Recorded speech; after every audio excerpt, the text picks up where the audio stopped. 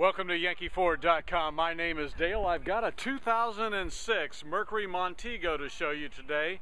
Just a fresh trade-in. Came in on a new car. 49,000 actual miles on the car. Now I'm showing it to you now before it's cleaned because it probably won't last that long to get the clean undone on post pictures posted on the website for you. And uh, you requested, so here they are. And it has the climate control, and obviously it's an automatic transmission tilt wheel, cruise control, coming around to the back seat. This is the part that I like. It has a lot of room in the back seat. I guess I have to unlock it to get there, so if you'll wait with me, I'll get that done. You can see how much leg room is in the back seat. It's all very clean. They also have, because of the roof line, a lot of headroom. So if you've got tall people you're carrying with you, you'll have lots of space.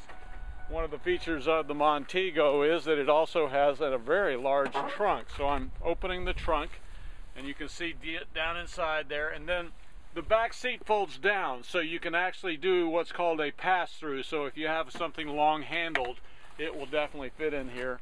Now I'm going to close the deck lid so you can see that it says all-wheel drive on the back. So this will get you where you need to go in the winter time.